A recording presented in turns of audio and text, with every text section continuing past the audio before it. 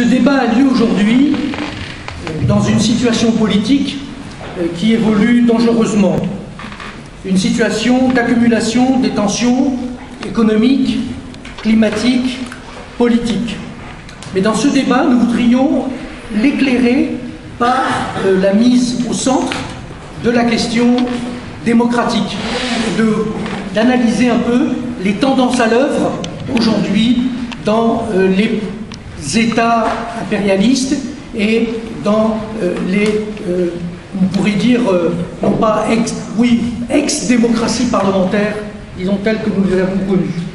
Sur le plan international, qu'on se tourne vers les USA avec le système Trump, qu'on enregistre les résultats aux dernières européennes avec une poussée de l'ultra-droite et d'extrême droite, qu'on prenne en compte les développements au Brésil avec Bolsonaro ou les confirmations des politiques répressives des régimes de Poutine, d'Erdogan, en Turquie ou d'autres dictateurs, on a une tendance à la remise en cause globale des libertés démocratiques. Il peut y avoir, des coups d'arrêt, comme en Argentine aujourd'hui, mais la tendance est là, il y a un recul de la démocratie. Sur le plan national, avec ses spécificités liées à la politique française, à son histoire, à ses rapports de force, Macron s'inscrit dans cette tendance de durcissement des rapports de domination, de classe. L'ampleur de la répression des mouvements des Gilets jaunes, l'instrumentalisation de l'appareil policier et judiciaire en est une bonne illustration.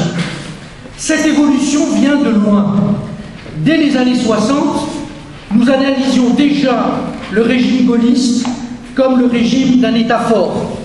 Mais plus précisément, c'est la contre-réforme néolibérale mise en œuvre à la fin des années 70, début des années 80, qui a transformé les politiques des classes dominantes, le rôle de l'État et des confrontations sociales. Le néolibéralisme est un mode de gouvernement actif qui est loin des conceptions de l'État minimum du libéralisme classique. Contrairement à ce qui a été dit, le, le néolibéralisme, ce n'est pas moins d'État. C'est moins d'État social, moins de services publics, mais plus d'État dans toute la société. Et surtout un nouvel État fondé sur la compétitivité, le profit, la propriété privée du capital, qui met aussi de plus en plus de concurrence dans tous les rapports humains. C'est ce que les Allemands ont appelé l'ordolibéralisme, un courant de pensée libérale apparu en Allemagne dès les années 30, selon lequel la mission économique de l'État était de créer et de maintenir les normes capitalistes, la concurrence libre et non faussée, comme l'indiquent les traités européens.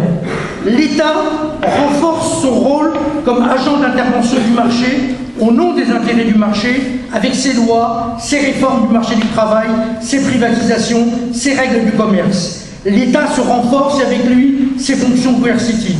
Plus, chaque crise, comme celle de 2007-2008, pousse les classes dominantes à opérer une fuite en avant.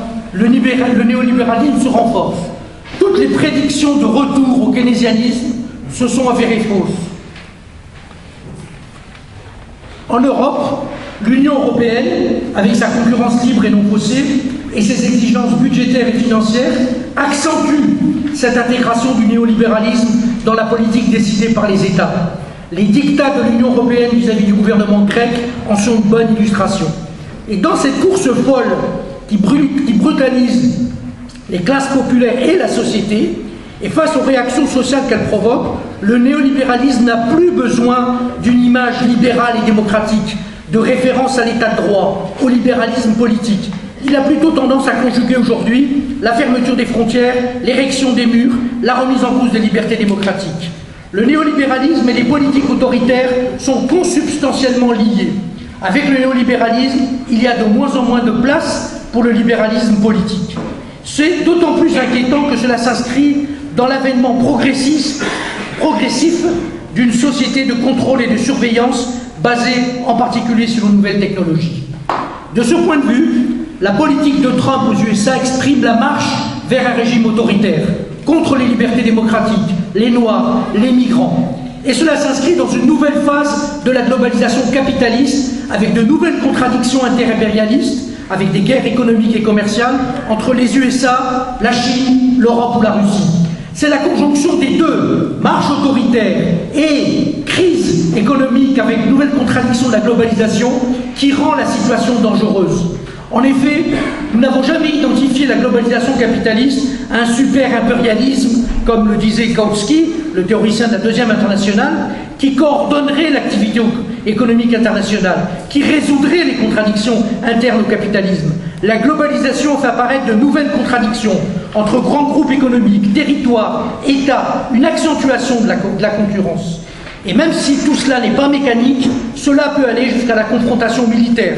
C'est ce que nous constatons aujourd'hui dans les affrontements à cette étape de basse intensité, dans le détroit d'Ormuz, dans les tensions USA-Chine, dans la crise de Hong Kong, dans les tensions avec la Russie, les crises au Moyen-Orient, les menaces interventionnistes américaines au Venezuela. Tout cela indique bien, dans ce cadre, les risques de confrontation et de guerre. Avec Trump, il n'y a pas moins de néolibéralisme mais du néolibéralisme avec plus de protectionnisme, du nationalisme, du racisme, ce qu'il y a de plus réactionnaire dans l'histoire nord-américaine.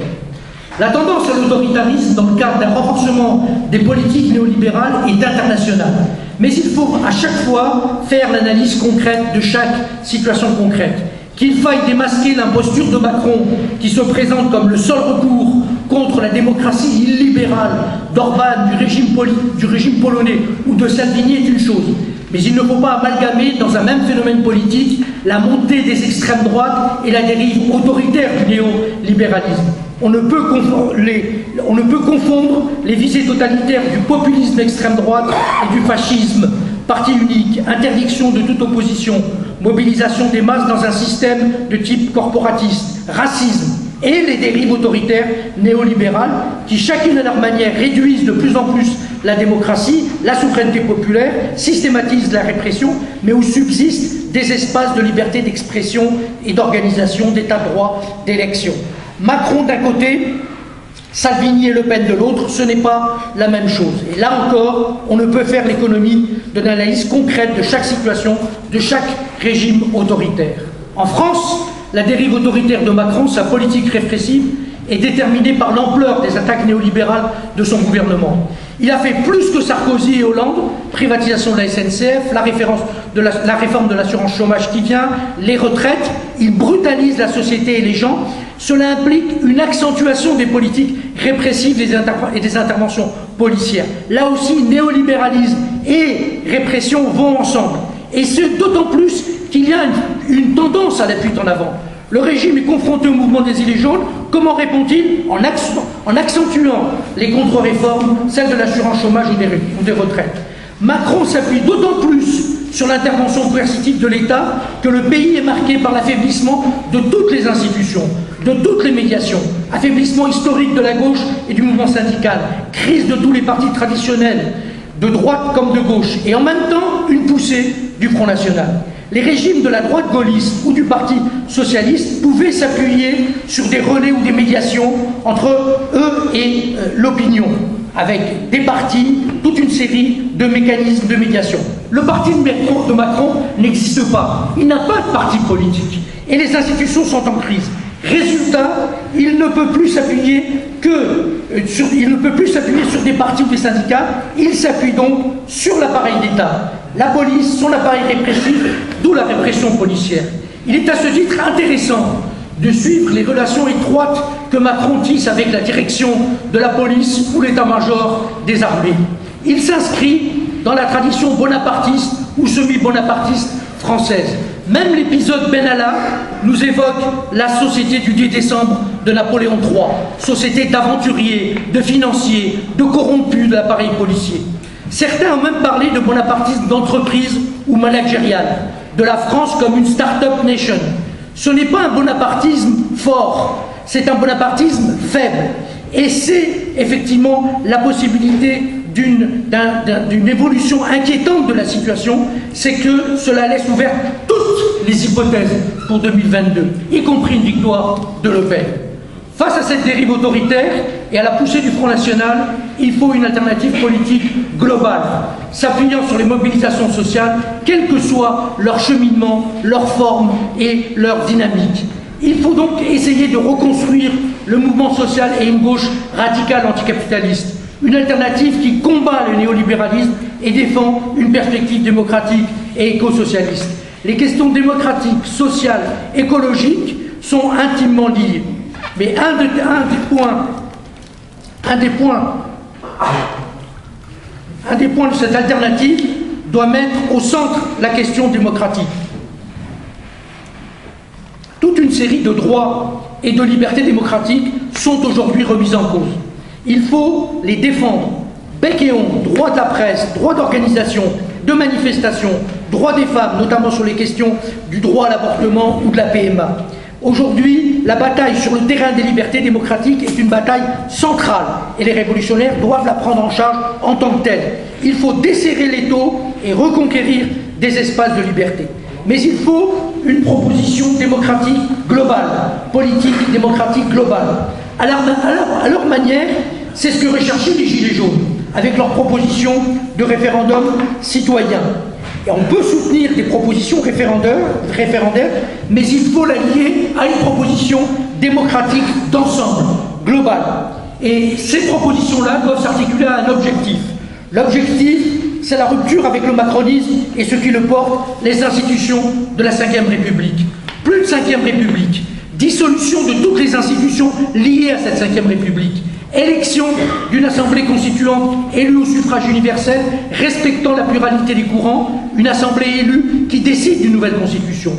Plus d'élections de président au suffrage universel, plus de Sénat, élaborer une nouvelle architecture du local ou national, des structures représentatives aux assemblées de démocratie directe, un cadre de fonctionnement de délégués élus et révocables, soumis au contrôle des citoyens à la rémunération équivalente au salaire moyen. Ce processus démocratique de rupture avec les institutions de la Ve République aura et prendra des formes qu'on ne peut prévoir aujourd'hui. Mais c'est une des questions centrales dans la rupture aujourd'hui avec l'ordre néolibéral et avec la domination capitaliste. Ce processus doit s'appuyer sur l'auto-organisation des classes populaires. De ce point de vue, même si c'est avec des limites, les assemblées des assemblées des Gilets jaunes à Commercy, Saint-Nazaire, ont montré qu'il y a des possibilités aujourd'hui, même limitées, d'expérience de, de démocratie directe. Il est important de s'appuyer sur ces expériences-là, qui sont populaires dans le pays, qui sont compréhensibles sur le fait que les gens doivent se saisir de toutes les questions liées à leur vie euh, propre, qui de mettre au centre aujourd'hui de, de cette alternative démocratique radicale ces questions d'auto-organisation démocratique. Voilà quelques points soumis à la discussion. Ces questions-là démocratiques sont centrales aujourd'hui dans une alternative d'ensemble anticapitaliste, une alternative socialiste démocratique. C'est décisif de prendre appui là-dessus et d'être euh, en, si vous voulez, à l'avant-garde, par l'avant-garde, disons d'être dans ce mouvement, de stimuler ce mouvement-là, d'être euh, en lien avec toutes les expériences démocratiques qui peuvent exister dans le pays. C'est décisif pour les révolutionnaires, et quelles que soient les formes, et ça peut quelquefois nous désarçonner, nous, désorienter, nous surprendre, mais il faut s'insérer dans ce mouvement-là, parce que c'est le mouvement, effectivement, qui montre euh, les, voies pour rompre aujourd'hui avec les modes d'institution, euh, les nouveaux modes d'institution, de domination politique de, des classes dominantes. Donc voilà quelques points soumis à la discussion. Euh, en même temps, il faut rechercher l'unité d'action avec tous les courants et partis qui se situent sur le terrain de la transformation sociale, rechercher les voies d'unité, du dépassement de la division, mais il n'y a pas de mouvement sans contenu. Il peut y avoir des mouvements sans contenu, mais pour les révolutionnaires, il est important de féconder tous les mouvements qui peuvent exister par effectivement une alternative euh, globale, anticapitaliste, démocratique. Et les points qui ont été présentés ce matin, en tout cas à mes yeux, je pense que c'est des points dont on n'a pas suffisamment mis l'accent ces dernières années et qui sont décisifs dans les mois et les années qui viennent. Voilà, merci. je voudrais d'abord poser une définition, puisque nous allons parler de ce cours autoritaire de régime démocratique issu des élections, il faut s'accorder sur ce mot démocratie. Et le sens vital, le sens toujours jeune, le sens toujours porteur d'une promesse d'émancipation est au cœur de ce mot derrière les apparences des centres, des institutions, des représentants, des trahisons, des déceptions. Au cœur de la promesse démocratique, il y a tout simplement la question de l'égalité. Une proclamation qui fera toujours éternellement scandale contre toutes les tentations de s'approprier le bien commun, qu'elle soit oligarchique ou avant-gardiste. Nous naissons libres et égaux en droit, sans distinction d'origine, de naissance, d'apparence, de croyance, de condition, de sexe, de genre. cette proclamation fondamentale sera toujours le cœur de la conquête de droits nouveaux, de l'invention de droits nouveaux et de la défense de droits existants. Si nous parlons aujourd'hui des Gilets jaunes, et nous en reparlerons cet après-midi avec l'historien Gérard Moiriel, c'est bien parce que la surprise de ce mouvement social, venu d'une sorte de périphérie politique, de travailleurs pauvres, de femmes seules, de retraités, ce mouvement social, parti d'une question d'injustice, en l'occurrence d'injustice fiscale, a été amené à poser la question démocratique centrale par le moteur de l'égalité. Si nous naissons libres et égaux en droit, nous avons le droit de nous en mêler jusqu'à aller interpeller et poser la question du pouvoir central. Je dis ça parce que c'est ça le cœur de la question que nous redécouvrons. La jeunesse de cette question originelle, telle qu'elle fut posée quand ont commencé les mouvements qui ensuite vont produire socialisme, communisme, marxisme, trotskisme, tout ce que l'on veut. Mais il faut bien voir cette actualité de la question originelle telle qu'elle fut posée à une époque où il n'y avait pas de droits sociaux, où il y avait l'esclavage, où il y avait encore moins de droits des femmes, et ainsi de suite. Nous naissons libres et égaux en droit. Et c'est une promesse toujours actuelle. C'est l'horizon qui ne sera jamais inachevé, hein, l'horizon permanent de la conquête des droits. Je dis ça pour poser la nouveauté que nous avons sous les yeux. Ce n'est pas une répétition, nous avons une nouveauté. Quand j'ai publié Dire non en 2014, j'avais redonné une sorte de visibilité à une vieille formule d'Antonio Gramsci, cet antifasciste mort dans les prisons du fascisme italien, Antonio Gramsci qui avait dit la crise, c'est quand le vieux monde est en train de mourir et s'accroche pour ne pas mourir, qu'un nouveau monde essaye de naître mais ne s'est pas encore imposé. Mais la phrase importante, c'est la phrase qui suit. Il disait, dans cet entre-deux, cette bataille entre le vieux monde et le nouveau monde, surgissent les phénomènes morbides les plus variés. Ce qu'une traduction plus littéraire, plus poétique a bien résumé, le vieux monde se meurt, le nouveau monde, le nouveau tarde à apparaître, et dans ce clair-obscur surgissent les monstres. Quand j'ai fait dire non, on pouvait se dire au fond les monstres dont on parle, c'est l'ascension, la présence, l'hypothèque, l'hégémonie dans le débat public de l'extrême droite. Mais l'extrême droite n'est pas un monstre, nous le connaissons, nous l'avions déjà identifié, ce n'est pas un nouveau phénomène morbide. Le phénomène morbide, c'est ce que nous avons sous les yeux, qui se nomme Trump, Bolsonaro, et dans toutes ces variantes, qu'il s'agisse d'Erdogan, qu'il s'agisse de Poutine, qu'il s'agisse de ce qui se passe ici même. Nous avons des régimes démocratiques issus du vote qui vont eux-mêmes s'en prendre au fondement de la démocratie. Des démocraties autoritaires ou, comme le disent certains politistes, des démocraties illibérales, au sens de démocratie férocement libérale économiquement, mais infidèle radicalement au libéralisme politique. C'est bien cette situation qui d'ailleurs fait le lit de l'extrême droite, le lit idéologique. Comment faire la leçon à M. Salvini quand soi-même on a fait le délit, on a à criminaliser le délit de solidarité? Comment faire la leçon à Poutine sur ses opposants quand Poutine dit bah, Moi, je ne veux pas faire comme vous avec les Gilets jaunes? Comment faire la leçon à Xi Jinping quand les manifestants de Hong Kong se réclament eux-mêmes des Gilets jaunes? Donc, nous sommes au cœur du défi actuel.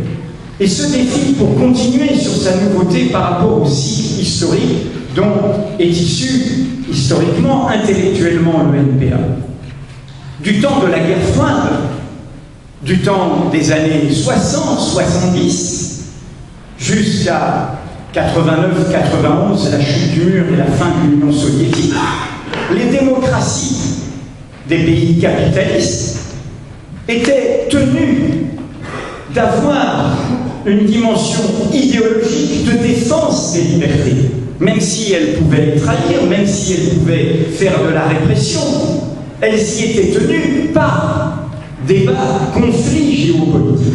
Rappelez-vous les années 70, les accords d'Helsinki qui étaient brandis, y compris par les dissidents des pays de l'Est que nous soutenions.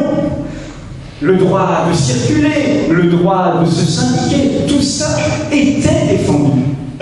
Évidemment, tout cela ne l'est plus de la même manière puisque ce monde s'est unifié autour de la marchandise, autour du capitalisme et qu'il n'y a plus cette tension-là.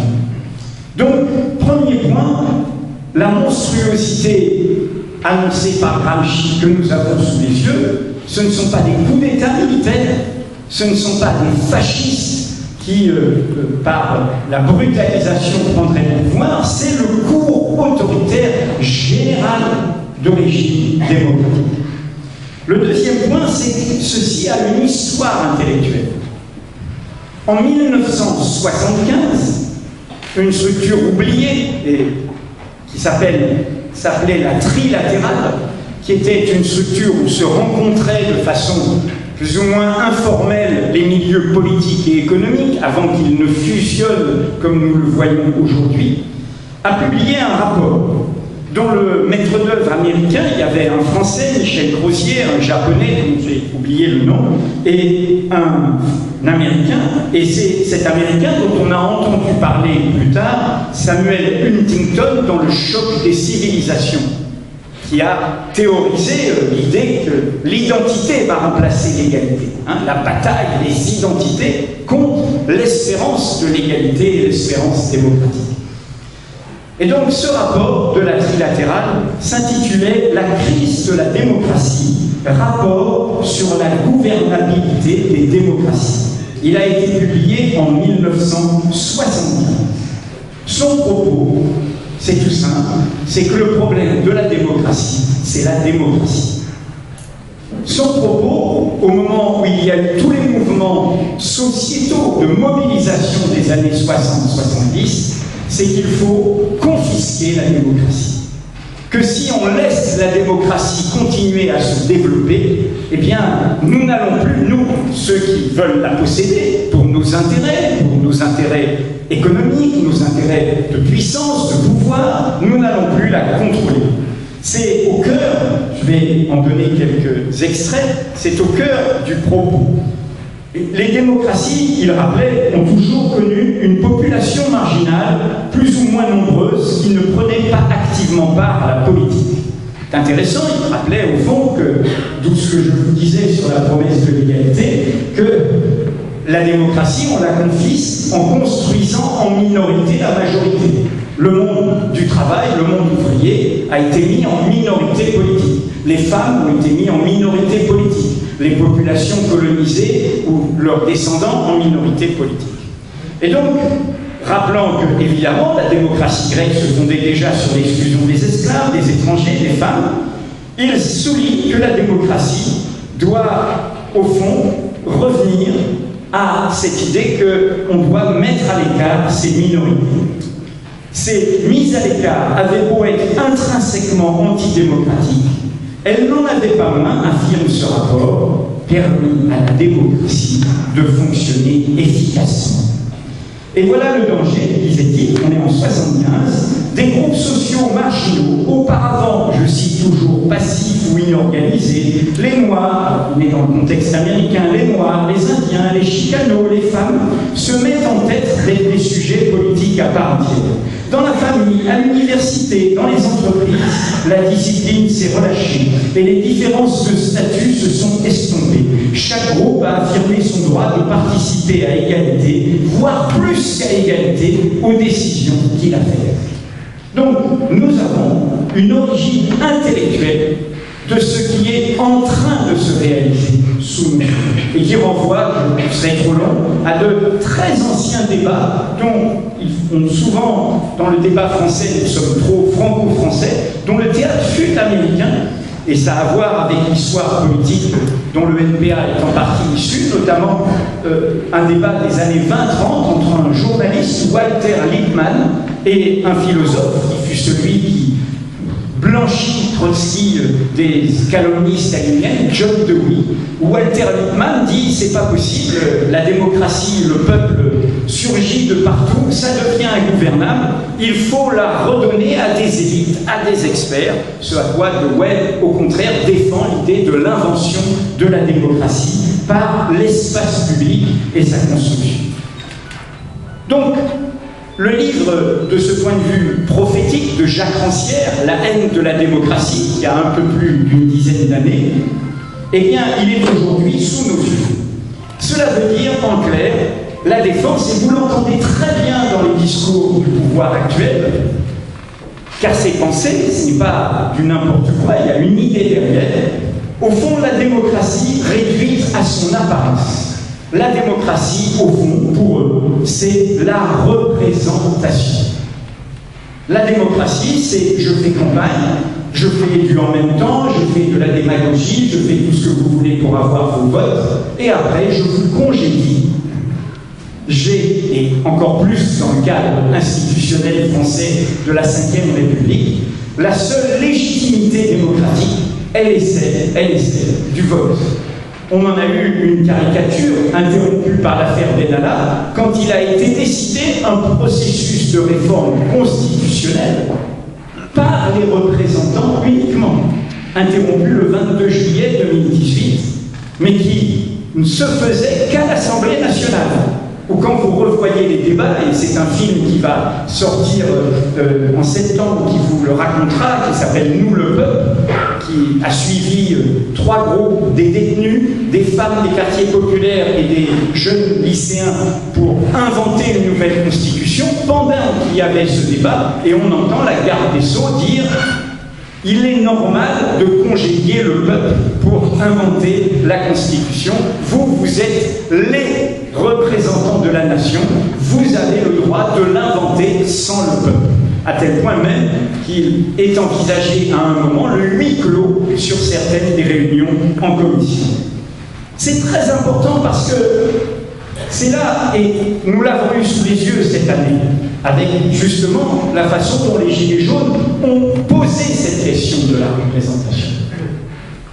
Ont mis, et ont mis quelque chose que nous n'avons jamais osé faire. Non, la démocratie, ce n'est pas la représentation. Bien sûr, il faut des responsables, il faut des élus, il faut des gens choisis, mais ils peuvent être tirés au sort, pourquoi pas. Mais la démocratie, c'est comme une table pour que ça fonctionne.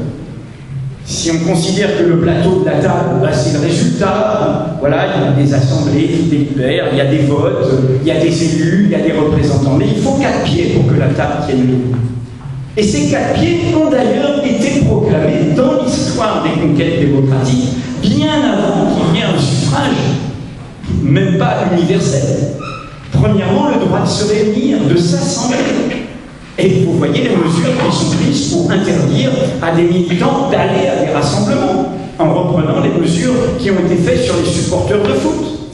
Deuxièmement, le droit de s'exprimer, et y compris d'exprimer des opinions qui dérangent, des opinions qui provoquent. Et vous voyez comment, au prétexte sécuritaire, il y a des dispositions qui persécutent ce droit de s'exprimer.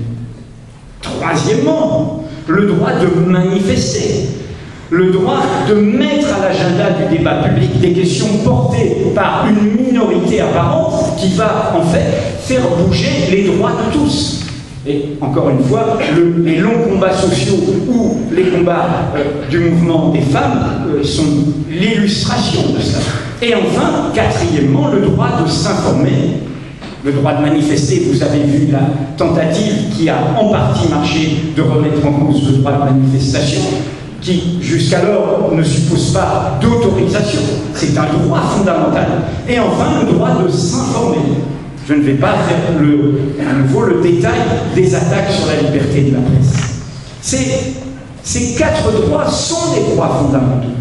Il n'y a pas de vitalité démocratique sans ces droits-là. Alors, le fait de remettre en cause ces droits-là a une logique. Ils savent que le monde qu'ils dirigent est intenable. Il est intenable, les inégalités évidemment, et leur ampleur, avec une crise économique, nous l'avons récemment, sous la plume de Martine Orange, raconté à nouveau cet été.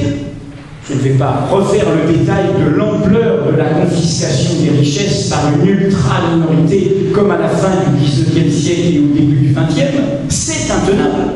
Et cela concerne la majorité de la population. Ce ne s'agit pas des inégalités entre classe supérieure, moyenne supérieure, moyenne intermédiaire, salariés, travailleurs. Il s'agit de la confiscation des richesses par une ultra-minorité à l'échelle du monde. 26 hein.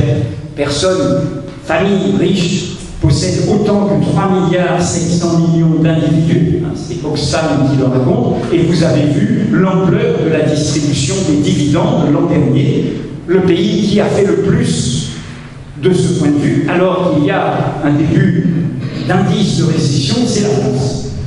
Deuxièmement, l'écologie, l'actualité le met sous nos yeux, le crime d'écocide doit être porté en plus du crime de génocide, du crime contre l'humanité, M. Bolsonaro est un écocide. Il détruit le tout vivant du monde. Et le tout vivant du monde, il n'y a pas de mouvements sociaux s'il n'y a plus de vivant dans le monde. Troisièmement, l'interdépendance, le nouvel espace public de la révolution numérique. La révolution industrielle que porte le numérique et l'annonce potentiellement d'un nouvel espace public et qui est évidemment très dangereux. D'où la tentation dans une alliance des États et des GAFA de le contrôler, de le dévoyer, de le manipuler, de l'instrumentaliser. Et sans rentrer plus longtemps dans le détail, tout cela en synthèse étant la fin d'un monde où ceux qui se réunissent à Biarritz aujourd'hui, l'Occident comme création politique, est évidemment lui-même sent bien que le temps de sa domination est terminé et que donc il, ne dit plus le là du monde, et il s'accroche à la façon dont il pourrait continuer à le Dans ce contexte, je voudrais juste insister, ce n'est pas par corporatisme, sur un enjeu très important. Pour que tout cela passe, pour que cette brutalisation des sociétés passe, il faut faire avaler une fiction. Il faut que les gens acceptent autre chose que la réalité de tout ça. D'où dans tous les cas que j'ai cités, regardez comment s'est passée la brutalisation, le coup autoritaire en Turquie. Je ne parle pas de la Russie, évidemment la Chine, mais évidemment ici même, je ne parle pas pour Trump, Bolsonaro, les attaques contre le journalisme indépendant, contre la liberté de la presse, qui est vue par des pouvoirs qui prennent secours comme des opposants plus dangereux que les opposants politiques. Parce qu'il y a un enjeu qui est le réel. La réalité les accable. Regardez l'enjeu de ce qui s'est joué sur les violences policières, avec David Dufresne, avec les vidéos, avec tout ce qu'on a fait, le data qui a documenté tout ça. La réalité les accable. Et donc, pour éviter cet accablement, il faut essayer de réduire l'espace de liberté de l'information, où la réalité surgit et remplacée par une fiction, par un mensonge. Regardez, y compris symboliquement, la campagne de Nicolas Sarkozy cet été dans l'affaire libyenne, c'est une fiction. Et c'est une fiction où il a, il a fait cause commune avec Macron dans la défense, c'est-à-dire éviter qu'un président, ce qui serait un séisme euh, pour sa cinquième République, qu'un président aille rendre compte de faits criminels devant un tribunal, euh, en l'occurrence la corruption d'une démocratie. Et donc cette question de l'information et de la fiction, d'où la colère des gilets jaunes et du peuple, par rapport au blablabla des talk shows, il faut enrober d'idéologie, enrobée d'une sorte d'irréalité, d'une imposture, la réalité. Emmanuel Macron, le 28 juillet l'an dernier, a eu une antiphrase qui disait ça, quand il a dit le seul responsable c'est moi en pleine affaire Benalla, qu'il vienne, que l'on vienne me chercher. Ce à quoi les Gilets jaunes ont dit, bah, on va venir te chercher. Et il a cette phrase, il dit, nous avons une presse qui ne cherche plus la vérité. Et en fait, il voulait dire, je crains la presse qui va trouver les vérités que nous cachons. Et, cet enjeu est décisif. Hein. C'est pour ça que globaliser les médias, etc., euh, c'est leur donner la main. Cet enjeu du savoir, de la vérité. Et c'est, je reviens à des cohérences historiques. Quand il était minuit dans le siècle, la question de la vérité était importante. La question de la vérité est un combat essentiel. Alors dans ces fictions, et j'en terminerai là, évidemment il y a l'ennemi radical, et c'est bien pour ça qu'ils font, ils font la courte échelle à l'extrême droite. Pas forcément, l'avenir n'est pas écrit au fait que l'extrême droite prenne le pouvoir, mais au fait que les idées d'extrême droite prennent le pouvoir. Quel est l'ennemi radical de la promesse démocratique originelle qui a comme moteur l'égalité? Je l'ai dit tout à l'heure, c'est l'identité. Le logiciel historique de droite, c'est de dire il y a des cultures supérieures à d'autres, des origines supérieures à d'autres, des sexes supérieurs à d'autres, des religions supérieures à d'autres. Comment détruire la promesse d'égalité, c'est faire revivre, évidemment, l'idéologie de l'identité. François Sabato l'a dit, tout ça est une course à l'avenir. Et en ce sens, il faut prendre conscience, où que nous soyons, de notre responsabilité.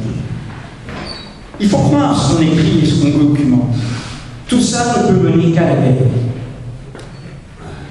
Une course comme celle-là, des pouvoirs si minoritaires, ancrés sur des intérêts sociaux si minoritaires, n'ont qu'une fuite en avant. Emmener leur société dans une brutalisation, pas forcément cyniquement, par des enchaînements. Vous avez eu une interview du chef d'état-major français la veille du 14 juillet, très inquiétante, où il rappelait Nous sommes dans un système d'alliance. Donc quoi qu'il se passe avec l'Iran, nous serons dans notre alliance. Et l'alliance, c'est les États-Unis. Je rappelle, les somnambules de 14, tout le monde n'a pas voulu le saut dans la boucherie universelle de 14, mais ces somnambules ont été pris dans leur système d'aveuglement et d'alliance. Et nous risquons d'y être. Nous risquons d'y être pour des intérêts sonnants et trébuchants, c'est évidemment l'enjeu pétrolier autour de l'Arabie saoudite face à l'Iran et donc du tout pétrole qui entraîne toutes les alliances que nous connaissons et qui s'habille de mensonges, d'idéologie. L'Iran, pas plus que l'Irak, n'est une menace pour le monde aujourd'hui. Mais de la même manière, regardez comment la guerre, et on emploie le mot guerre, commerciale avec la Chine prend des allures de plus en plus guerrières et qui, dans un jeu de double, arrange le cours autoritaire, c'était déjà le cas, mais encore plus du régime chinois euh, de Xi Jinping. Et donc nous sommes dans un moment comme celui-là. Dans un moment comme celui-là, et je conclue en effet, nous n'avons qu'un choix, c'est faire parier sur la société. J'ai fait des références à d'autres moments graves. Dans un moment grave, il était minuit dans le siècle, le mot d'ordre était socialisme ou barbarie. Aujourd'hui, le mot d'ordre être démocratie ou barbarie. C'est la seule arme que nous avons. La question de banquet, comme disait Karl Marx au moment des révolutions démocratiques du printemps des peuples du XIXe siècle. La question qui rassemble. Car il faut poser les termes aussi en termes d'hégémonie. La question en termes d'hégémonie, de rassemblement, de classe populaire, classe moyenne. La question démocratique. Tout le monde comprend que si les droits de certains sont mis en cause, ce sera pour que tout le monde ne puisse plus utiliser ses droits. demain, après-demain. Ceux qui sont dans l'abstention face aux Gilets jaunes en disant ils n'étaient pas là pour mes retraites, eh bien, commettent la faute de non-assistance à principe en danger. Parce que ce qui s'expérimente contre les gilets jaunes, après s'être expérimenté dans les quartiers populaires, les concernera eux aussi demain. Et donc, cette question de principe est au cœur de, de l'enjeu. Un apprentissage de la démocratie, y compris dans les débats pour les municipales. Imposer des assemblées citoyennes au tirage au sort, ayant réellement des moyens de fonctionner. Car il ne s'agit pas de faire des assemblées pour des assemblées, de se parler entre sachants, entre avant-garde, au courant. L'important, et encore une fois, les Gilets jaunes nous l'ont montré, c'est comment on reprend confiance dans la politique. Comment on reprend confiance dans une démocratie qu'on se réapproprie. Comment il y a une pratique concrète, une éducation populaire commune qui permet de trouver ce chemin. J'ai cité Gramsci en introduction, et je voudrais dire que trois ans après cette phrase sur le neuf, le vieux, surgissent les monstres, il fait un autre texte, c'est en 33, où il se moque de cette gauche un peu scientifique, marxiste, vulgaire, la vulgate marxiste qui dit l'histoire est écrite, hein, le prolétariat, le peuple uni, le machin, etc. On a vu que ça marche pas toujours. Hein. Donc il, il, se moque de ces prévisionnistes, ceux qui prétendent dire l'avenir. Et il a cette phrase la seule chose que l'on peut prédire, que l'on peut prévoir, c'est la lutte. Donc voilà, il faut mener cette lutte sur cette question démocratique aujourd'hui. Je ne sais pas si vous avez vu le film Le nom de la rose. Vous savez, euh, ce moine franciscain qui met de l'enquête, interprété par Sean Connery, et qui porte à, la connaissance de son jeune apprenti un écrit qui était euh, jusqu'à présent tenu secret, en plaçant comme ça un parchemin au-dessus d'une flamme, d'une bougie, et apparaît alors une écriture qui était euh, jusqu'à présent invisible parce qu'elle avait été écrite à l'encre de citron. Alors, je m'arrête là dans l'image, parce que je vois déjà qu'il y a des publics qui s'interrogent, euh, mais je crois qu'on peut dire que le mouvement social des Gilets jaunes a joué sur la société française un peu le rôle de cette bougie sur ce parchemin. C'est-à-dire qu'elle a rendu visible euh, des choses qui n'étaient pas pour des millions de personnes, malgré nos explications. Parce que cette fois-ci, on l'a vécu euh, dans les faits, en acte, je vais dire sans mauvais jeu. On en a eu la démonstration concrète. C'est-à-dire que là, il y a des millions de personnes qui ont pu euh, apercevoir, toucher du doigt ce qui était un, pouvoir qui basculait dans un durcissement politique brutal et dans un cours autoritaire. Alors, un cours autoritaire qui n'est pas tout à fait le propre, en effet, c'est du actuel, du gouvernement. Je pense que le, la base de la discussion, c'est quand même de comprendre que l'autoritarisme dont on parle, c'est pas, c'est pas une formule gouvernementale, c'est pas une forme figée, stabilisée. C'est d'abord une dynamique, un processus qui a sa propre logique, qui commence souvent à bas avec des restrictions démocratiques, qui a des actes fondateurs, qui est traversé par des discussions idéologiques, y compris au sein de la classe dominante, qui connaît ces gouvernements qui assument le cours autoritaire. C'est par exemple en France difficile d'évoquer le cours autoritaire sans évoquer à un moment ou à un autre les années Sarkozy, par exemple. Euh, notre ami commun et camarade Daniel Ben Saïd avait par exemple insisté lourdement à l'époque sur euh, la portée stratégique qui était euh, la mise en place de l'état d'urgence au moment de la révolte des quartiers populaires, en expliquant qu'au-delà de ce que représentait l'état d'urgence dans les quartiers, c'est-à-dire un état de siège, c'était aussi un message envoyé à la société tout entière, qu'elle vive ou pas dans les quartiers, pour commencer à la préparer, à s'habituer à ce que l'exception devienne la règle. Daniel, il écrit ça en 2006, c'est prophétique quand on voit ce qui s'est passé. Difficile d'évoquer ce processus sans parler à un moment ou à un autre, mais il y en aurait plein d'autres. Euh, de Valls, par exemple, sur la loi travail, le 49.3, euh, les interdictions de manifester, ça commence à ce moment-là. Nos cortèges, vous vous rappelez, qui étaient quand même déjà à l'époque méchants sous euh, haute surveillance policière. Et puis il y a eu cette répression qui s'est abattue sur le mouvement des Gilets jaunes et qui, euh, en effet, je crois, fait euh, office de, révélateur. C'est-à-dire que là, euh, oui, à une échelle de masse, il y a eu la compréhension de ce que pouvait faire un gouvernement quand il voulait briser, faire taire, mater une contestation sociale.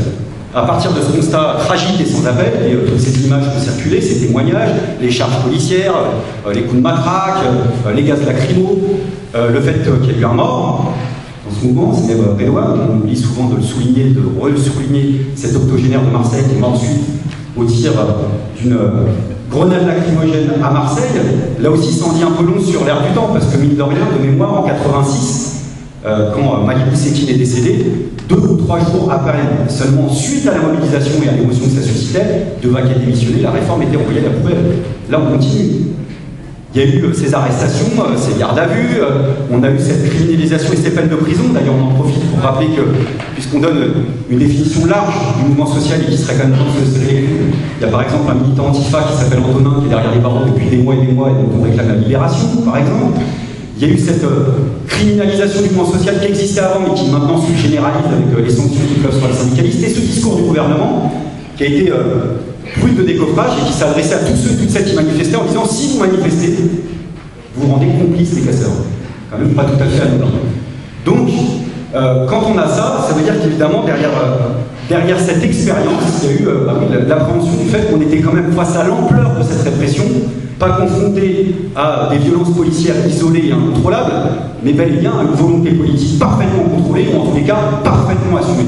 Et c'est venu nous rappeler que derrière chaque matraque, il y a une décision politique prise en amont et assumée en tant que telle. D'abord par le fait que la France est euh, un des rares, si ce n'est le seul État en Europe à doter euh, les forces de police d'un tel arsenal de guerre en missions de maintien de l'ordre, avec les LPD et les grenades de désencerclement dont on réclame toujours, même si c'est pas tendance, le retrait, et pas simplement d'ailleurs pour les manifs, mais aussi pour l'usage qu'on les fait au quotidien, notamment dans les quartiers populaires. Il y a eu cette affaire de philosophie, parce qu'on a des grands philosophes hein, gouvernement, comme chacun le sait. Euh, la philosophie du maintien de l'ordre, pour vous rappeler, au plein mouvement, ils ont dit euh, on va faire la, nouvelle philosophie, c'est d'aller au contact. Et ça, ils ne l'ont pas revendiqué. Ils ont même claironné sur tous les plateaux télé, Macron le premier. Et euh, cette fameuse nouvelle philosophie d'aller au contact, quelques jours après seulement, elle plongeait dans le coma. Geneviève Leguet, militante d'attaque, de plus de 70 ans, Anis aurait pu être parfaitement tragique. Mais ça a été assumé. Et puis, euh, c'est mieux rappeler simplement que, pas simplement qu'il y a des décisions politiques prises avant, mais qu'elles sont assumées après. Et de quelle manière? De façon, euh, j'allais dire, provocante et même euh, un peu déconcertante, c'est ce que Mediapart avait appelé la promotion gilet jaune au sein des forces de l'ordre, puisque on a découvert à cette occasion qu'il y avait chaque année un moment où on médaillait les policiers et on a retrouvé ni plus ni moins Parmi ces policiers, les noms incriminés dans l'enquête interne de la mort de Sidney Brédois, du coma de Geneviève Leguet, médaillé, à la fois du policier qui a participé à la charge que du policier qui était chargé de l'enquête interne, c'est-à-dire la commissaire qui était ni plus ni moins que sa compagne. Et quand on sait que le procureur, en prime, a fait bon de faire savoir autour de lui à ce moment-là qu'il voulait surtout pas inquiéter Macron politiquement, on se dit que ce sont des pousses au crime, littéralement. Ça, ça s'est vu à une échelle de masse, c'est resté dans les rétines. On va voir ce que ça donne sur le long terme. Hein. Ça peut susciter plus de peur, c'est le calcul du gouvernement, ça peut susciter plus de colère. En tous les cas, ça s'est vu. Tout le monde l'a vu, sauf évidemment le pouvoir en place. À commencer par M. Castaner, évidemment, premier flic de France. Hein, vous savez qu'il y a deux types de policiers hein, dans la vie. Alors pas les bons et les mauvais, c'est pas comme ça que ça se passe, il y a les intellectuels et les manuels. Les manuels, vous savez, dans les manifestations, euh, c'est ceux qui vous sonnent de passer votre chemin avec un mouvement de la main, ça c'est les manuels. Et les intellectuels, c'est ceux qui vous de faire la même chose, mais avec un mouvement de la tête. Voilà. Ça, c'est les policiers intellectuels. Et Castaner, clairement, il est dans la deuxième catégorie. Il est même plus qu'un intellectuel, c'est un C'est un mentaliste. Castaner, il perçoit des trucs, il est le seul à pouvoir percevoir. L'attaque de la salpêtrière par des manifestants, parce qu'il a ce sens Il peut même prévoir les trucs à l'avance. Par exemple, 24 heures avant, il est capable, à l'unité près, de vous annoncer le nombre de casseurs qu'il y aura dans la manifestation. Tout en vous expliquant que 24 heures après, la situation est incontrôlable, ce qui ces images qui tournent en boucle où on va instrumentaliser les violences urbaines dans les manifestations, avec ces commentaires qui accompagnent les images en boucle et qui tournent aussi en boucle, et avec, euh, parmi le gratin aujourd'hui des consultants à la télévision, les policiers qui commentent maintenant en live les manifestations, raison pour laquelle je vous déconseille fortement de faire ce que j'ai fait à plusieurs reprises cette année, c'est-à-dire d'allumer votre téléviseur quand vous revenez d'une manif, parce que vu l'ambiance sur certains plateaux télé, vous avez l'impression que vous êtes placé en garde à vue, vous ne regardez pas la télévision, donc c'est une chose à éviter. Castaner vous manque comme il respire. Alors évidemment, il y a une thèse tentante, pourrait dire c'est tellement gros parce qu'on lui montre des images, on dit euh, là on voit quand même. Il dit non. on se dit, il est arrivé euh, place Beauvau, quand on arrive premier dans un concours de circonstances. C'est tentant. Mais en fait, il a été choisi pour ça. C'est sa fonction, et je rejoins Edwin. Le déni politique a une utilité pour le pouvoir. Il ne faut pas le sous-estimer. Quand on nie l'existence des faits à cette échelle-là, ça a un sens politique. Ça veut dire que même face à la vérité, même face à l'évidence apparemment indéniable, vous vous opposez des, arguments euh, d'autorité, pas n'importe quelle autorité, de votre autorité. C'est la parole de l'État qui est en jeu, contre tous. Et il faut choisir son camp. La parole de l'État contre les manifestants, ça on y était un peu habitué. La parole de l'État contre ceux qui sont présents, les soutiens, les secouristes. La parole de l'État contre ceux qui relaient ce qui s'est passé, c'est-à-dire les journalistes indépendants notamment. Et là, vous commencez à vous dire que ça sent pas très bon. Parce que si ça veut dire que même la vérité n'est plus un point de repère, bien sûr que ça brutalise.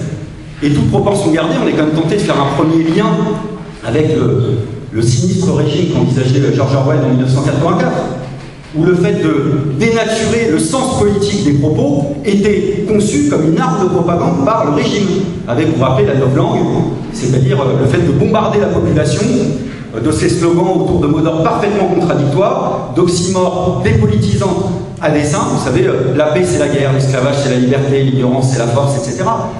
Quand on, commence à vivre dans une société où plus rien n'a de sens, plus rien ne fait sens du point de vue de la parole de l'État, vous commencez à mettre un pied dans l'antichambre du royaume de l'arbitraire. D'autant plus que quand vous niez l'existence des faits, vous niez pas simplement l'existence de ce qui s'est passé, vous niez l'existence des actions qui ont produit ce qui s'est passé.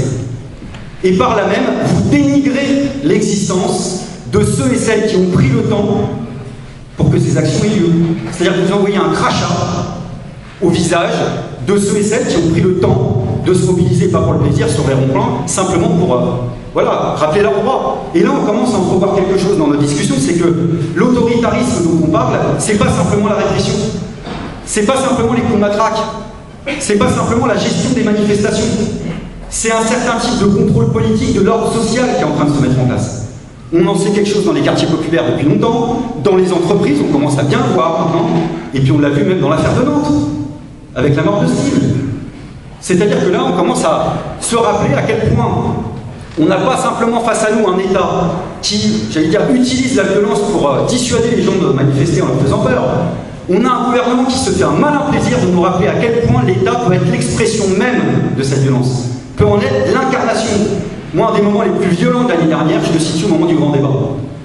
Quand, dans le contexte qu'on connaissait, Macron a mis en scène en plus l'opposition entre deux peuples. Le bon, le mauvais pour le bon. Le bon, c'est celui auquel il s'adressait, qui était là pour écouter, en enjambant toutes les médiations, c'est-à-dire en surlignant les, aspects les plus autocratiques de la Ve République. Et puis le mauvais, celui qui se mobilisait, qu'il a appelé la fouineuse, qu'il a invisibilisé, balayé d'un verre de la main, comme ça, d'un coup, c'est-à-dire qu'il a refusé de reconnaître comme titre à ceux et celles qui manifestaient, même pas le, j'allais dire, même pas le statut d'interlocuteur, on ne demandait pas ça, mais le statut de sujet actif. Il a tenté de nous rabaisser d'emblée au sujet de, euh, comment on statut d'objet, docile, dominé, soumis. Et ça, c'est profondément inscrit dans la pensée de la droite française. Parce qu'évidemment, on vit sous un gouvernement de droite. Maintenant, on en a tous conscience, puisqu'au début, il y en a qui bégayaient pour le comprendre, mais on a un gouvernement de droite. Avec tout ce que ça signifie, c'est-à-dire y compris avec sa part de tradition politique. Et ça remonte à il y a longtemps. Il y a un journaliste que je qui travaille à Mediapart, qui s'appelle Romaric Baudin, qui écrit un livre qui s'appelle La guerre sociale en France et qui vient bientôt sortir, et qui met en relation cet épisode où Macron oppose le bon et le mauvais peuple avec un discours d'Adolphe Thiers en 1850 à l'Assemblée nationale, où déjà Thiers à l'époque oppose la ville multitude qui brûle les bâtiments, les palais, les monuments à Paris, ça nous rappelle quelque chose, et puis le bon peuple qui souffre, qui travaille et qui veut travailler. C'est en effet une réplique des traditions bonapartistes, c'est à ça qu'on assiste. Et ces traditions bonapartistes, elles n'ont jamais touché le secteur social de la droite, puisqu'il y a eu cette pensée disait que le bonapartisme dans la droite, c'était incompatible avec le libéralisme. Mais c'est euh, éminemment lié, historiquement lié. La répression de la révolte des canuts dans les années 1830, la, répression, l'écrasement de la révolution euh, de 1848, euh, le bain de sang dans lequel a été plongée la commune de Paris, ça s'est toujours effectué au nom de la défense droit de commerce et de propriété, que ça soit sous Casimir Perrier, Cavaillac ou Adolphe Thiers. Donc la question c'est pourquoi on assiste à ces répliques de tradition bonapartiste La première raison, c'est d'abord qu'elles n'avaient jamais quitté la droite. Elles trouvaient toujours quelque part euh, dans les nappes phréatiques de la droite. C'est pas nouveau. Et ça va d'ailleurs au-delà des champs politiques, parce qu'on n'est pas simplement confronté à une violence sociale et politique, on est confronté à une violence de classe. Alors qu'incarne Macron à sa manière, de façon magistrale, puisque euh, ça c'est cette espèce de, manière condescendante, insupportable, qui suinte la mort de classe, qui nous coûtera son poste à un moment ou à un autre, parce que c'est grillé, cramé, qui nous aime pas, c'est tellement évident. Cette façon de s'adresser à nous comme si on était des enfants, comme si on était ses enfants, à nous appeler les enfants. Dans le grand débat, nous a appelé les enfants. Il y a déjà de moins en moins nombreux à penser que c'est le président de la République, c'est quand même pas pour en prime. Imaginez que c'est notre père. Mais qu'à l'image de et du camp social qui a parlé pendant le mouvement, il y a quelque chose qu'ils n'ont pas supporté, c'est que le bordel dont ils parlent à la télévision, ce soit pour une fois passé dans les quartiers riches et pas dans les quartiers habituels. Ça, ils n'ont pas supporté. Et du coup, le naturel est revenu au galop.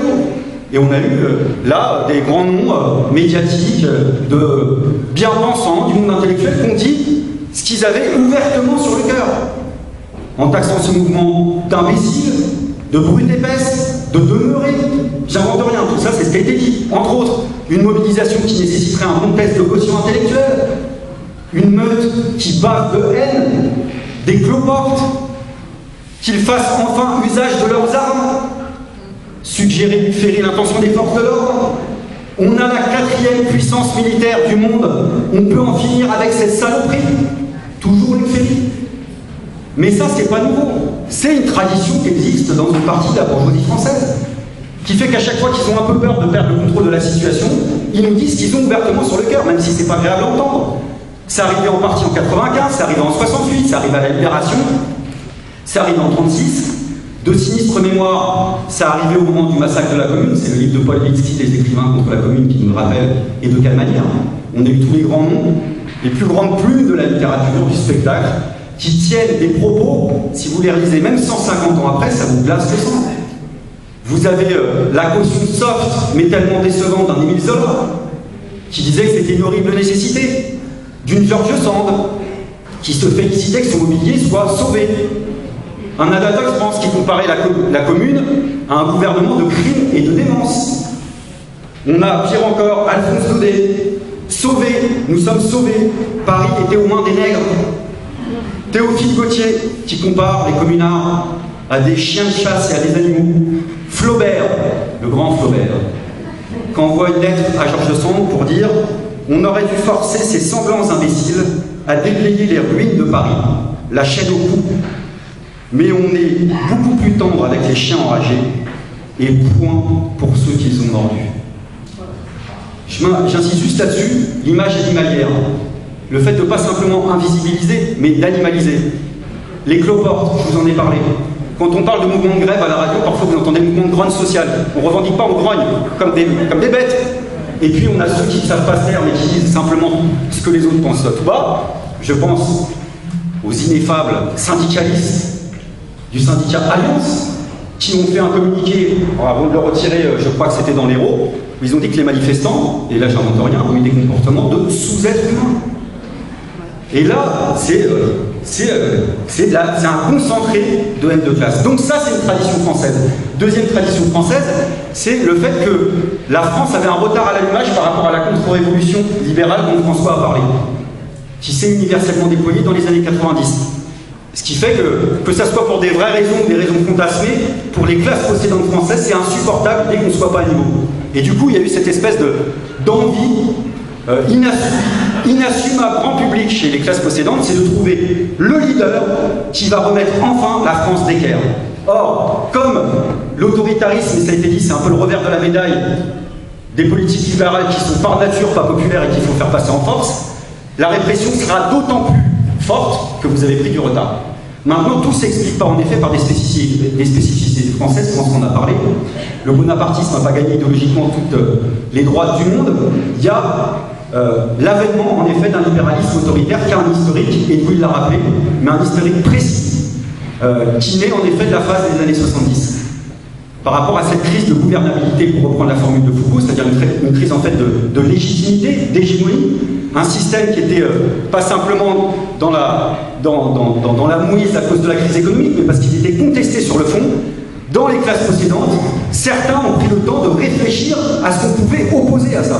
C'est ce, notamment ce que dit le, livre de Grégoire Chamaillot qui s'appelle La société ingouvernable, que je vous conseille, où en effet, il repisse toutes ces discussions qui ont existé. Et qui fait qu'en effet, on a maintenant euh, des libéraux qui assument idéologiquement une certaine intervention étatique. Alors c'est pas là pour nous rappeler que les capitalistes se seraient convertis en intervention étatique, parce que les capitalistes se sont toujours accommodés de l'intervention de l'État. Et pour s'en convaincre, il suffit simplement de voir partout en France, en Europe ou dans le monde, ce jeu de pantouflage qui existe entre les plus grands bureaucrates des plus grandes administrations d'un côté et les conseils d'administration des entreprises privées de l'autre. Il y a des va-et-vient permanents. C'est un monstre à deux têtes auquel on confronté. Dans la thèse de Grégoire, c'est pas ça. C'est qu'il dit que face à cette situation, il y a un secteur parmi les libéraux qui a commencé à prendre l'ascendant sur les autres, en effet, dans la commission trilatérale ou ailleurs, sur le thème on ne peut pas simplement s'en remettre à la main invisible du marché pour s'en sortir. Ou en tous les cas, il faudra que cette main invisible soit une main de fer dans un gant de fer. C'est-à-dire assumer idéologiquement une intervention étatique qui soit fort avec les faibles, faible avec les forts qui soit là pour discipliner la société quand c'est le bordel, et qui soit là pour venir en appui de l'économie de marché seulement quand on lui demande. D'abord comme coffre-fort géant, ça je pense que tout le monde l'a constaté au moment de la crise financière de 2007-2008, puisque là on a donné des milliards aux banques, et euh, on a bien vu que les capitalistes, ça ne les dérangeait pas qu'on socialise les pertes et qu'on privatise les profits. C'était une petite piqûre de rappel pour une partie du mouvement altermondialiste. Parce que je me rappelle qu'il y avait quand même cette illusion chez certains de l'idée que pour vaincre le libéralisme, il fallait opposer l'État on soit comme une face à Dracula. Ah non. Euh, ça, ça suffit pas, on l'a vu en 2007-2008, et en fait c'est même plus vieux que ça, puisque euh, les capitalistes ont fait inscrire dans le marbre par la loi des législations bancaires, par exemple, la loi bancaire de 73 en France, ce qui est gravé dans le marbre des traités européens, le fait que par exemple les pouvoirs publics n'ont pas le droit d'emprunter à des banques publiques, sont obligés d'emprunter à des banques privées qui vont spéculer avec des taux d'intérêt exorbitants sur quoi? Sur le marché des déficits publics. Et ça, ça remonte même pas à 30 ou 40 ans. Ça, c'est des mécanismes que Marx a décryptés dans le détail il y a déjà 150 ans. La nouveauté, c'est que là, on a eu des libéraux qui sont venus redire qu'ils n'avaient pas simplement besoin de gouvernements qui soient autant d'armées de, courtiers pour mettre les marchés en relation entre eux, que de gouvernements qui soient des marchés, comment qu'ils soient des armées tout court. Et là, c'est même pas caricatural. Alors évidemment, ils ont couvert ça là aussi sous forme de novlangue, puisque le terme c'est gouvernance. Le terme pour désigner l'État fort, c'est gouvernance. En essayant de faire croire que c'est l'art de gouverner son gouvernement. Alors en réalité, c'est l'art pour l'économie de marché de gouverner les gouvernements.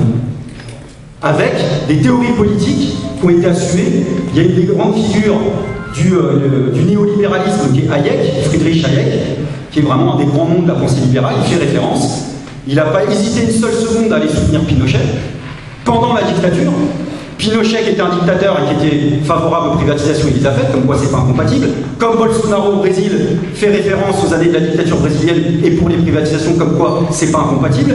Et Hayek a eu cette formule en disant, puisqu'il y a un journaliste qui lui posait la question, oui, je préfère une dictature qui est compatible avec le libéralisme qu'une démocratie illimitée qui est incompatible avec le libéralisme.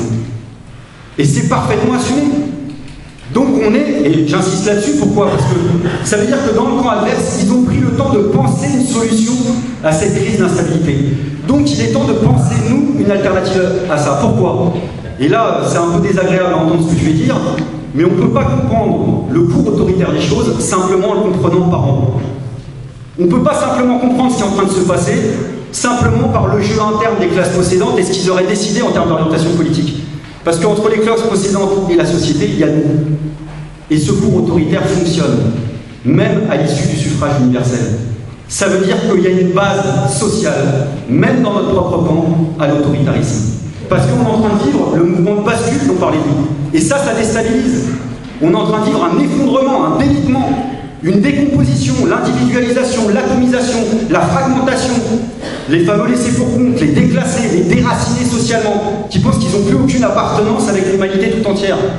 Ça, Anna Arendt, toute proportion gardée, quand elle parle de l'avènement du, totalitarisme, elle parle du phénomène de désolation. Et on n'est pas loin de le connaître. Et c'est là où nous, on a une responsabilité en termes d'alternatives politiques.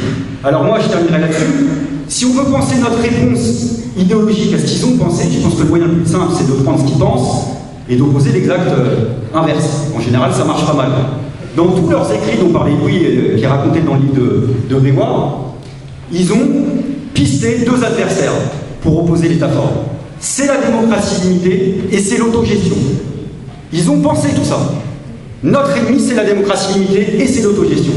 Donc il faut opposer la démocratie limitée et l'autogestion. Il faut repenser ces deux concepts-là. La démocratie limitée, j'y vais euh, très rapidement parce que, et François et lui en ont parlé, mais je pense par exemple qu'au sein du NPA, il faut reprendre une discussion sur le processus constituant. Moi, je le dis, j'ai déjà répété à plusieurs reprises, mais je, moi, pas cru à ce qu'on racontait publiquement les 15 dernières années. C'est-à-dire que publiquement, on, était là à raconter qu'il y avait une crise politique majeure et que tout pouvait basculer. Mais on se vivait politiquement simplement comme, euh, comme dire, un courant politique qu'on peut utiliser pour envoyer un message aux autres. Mais là, on a vu qu'on pouvait avoir, euh, pouvait avoir une éruption événementielle. En décembre, on n'était pas très loin. On peut imaginer, ça ne veut pas dire que ça va arriver, mais une situation de destitution du pouvoir en place. Si ça se destitue, il y a ceux qui pensent que ça peut renaître tout seul, je ne crois pas. Il faut imaginer un autre processus constituant. Il faut rediscuter. Deuxième aspect, l'autogestion. Et là, il faut reprendre, il faut reprendre cette discussion publique, à la fois sur les processus de reprise des entreprises, parce qu'on voit que dans les batailles contre les licenciements et les fermetures d'usines, c'est quand même arrivé à plusieurs reprises qu'on ne soit pas simplement dans des batailles défensives, mais qu'on ait aussi des ouvriers, des ouvrières, des salariés, des travailleurs, des travailleuses qui disent bah, pourquoi on ne continuerait pas la production tout seul? La discussion sur les services publics, c'est-à-dire comment on fait pour échapper à la logique marchande sans retomber dans un processus de bureaucratisation et d'administration dont on ne veut pas, avec un contrôle des usagers, comment on peut imaginer tout ce fonctionnement-là, c'est-à-dire les services publics sous le contrôle de la population. Et puis, dernier aspect, c'est la sécurité sociale, qui est un chantier énorme, et d'ailleurs, eux, en face, ils l'ont bien compris, mais qui est là quand même typiquement un de ces embryons qui courent dans l'ancienne société et qui pourrait germer dans la société future ça pourrait être en effet un autre fonctionnement. 100% sous contrôle des assurés, avec le, rétablissement des élections, la révocabilité, etc., etc. Donc là, il y a plein de pistes de discussion qu'il faut reprendre et qui sont des discussions stratégiques. Et je voudrais terminer pour euh, surligner ce est dit par une citation là encore d'Anna Arendt. Quand tout le monde nous ment en permanence, le résultat n'est pas que vous croyez ces mensonges, mais que plus personne ne croit en rien. Or, un peuple qui ne peut plus rien croire ne peut se faire une opinion. Il est privé non seulement de sa capacité d'agir, mais aussi de sa capacité de penser et de juger. Avec un tel peuple, vous pouvez faire ce que vous voulez. Donc la bataille, même sur cette question-là, donc la question démocratique, liée aux questions sociales, elle est centrale dans les semaines et mois. Je vous remercie.